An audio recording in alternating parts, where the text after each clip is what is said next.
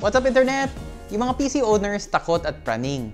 Takot na baka masira yung mga PC components nila at praning that they can be doing more to protect their stuff. And the fear is understandable. Una, we all rely on our computers now for work from home. Dati kung nasira yung home computer mo, hassle lang yun. Ngayon, wala ka ng panghanap buhay.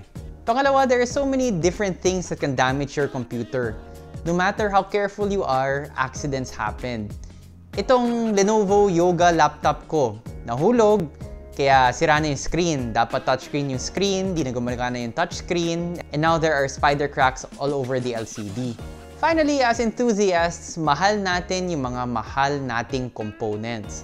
We recently did a poll and the majority of the respondents said that they skipped many meals in order to afford the computer that they have. Food is supposed to be life, but for a lot of us, we'll choose the computer over the food. So there are a lot of reasons why we should and we do want to take care of our computers. But not everything is within our control. Ginawa mo na lahat, paminsan malas lang talaga.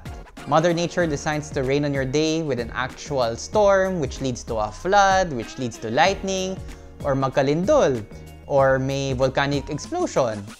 All of these things, you know, we could not have prevented no matter how hard we tried.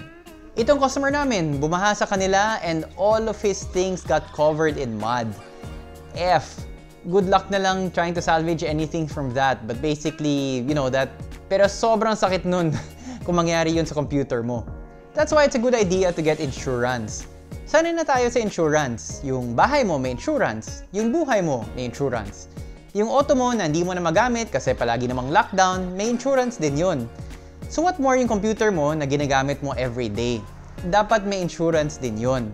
Fortunately, I recently learned about CocoGen's ProTech Insurance and as far as I know, ito yung first of its type in the country or at least yung first na nabalitaan ko. It covers both desktops and laptops and that includes peripherals. So kahit yung lason mo na keyboard, kasama yan, webcam, mouse, monitor, those are all covered.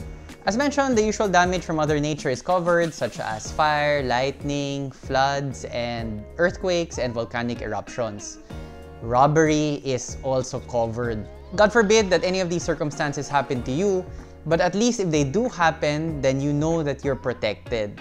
Very importantly, the price is cheap. For one whole year, the starting cost for a desktop is 1,000 pesos, and for a laptop, it's 1,500. Computers that are leased out, such as in internet cafes or LAN cafes, can't be covered. But computers that you use for work from home are definitely covered. If you're a school or an office, you can also have your equipment covered. So how do you get protected? You just start by filling up a form, which you can get at any CocoGen branch, or their contact details are in the video description. Insurance is usually described as protection, coverage, but personally for me, it's about buying peace of mind. That you know you won't be able to avoid misfortune, calamities. Pero yun nga, kahit na malasan ka, at least with insurance, you will have the funds needed to get your rig back up and running and, and you don't need to worry anymore where you're going to get the funds to do that. Thanks for watching. And all the thanks in the world to our top fans, Christian Espinosa, John Ruben Ocha, ITX Addict, Richard Onkinko, Ian Meru, and Liam Magnaye. Your support really goes a long way to helping upgrade the production quality of the channel, and we really, really appreciate it. Thanks so much.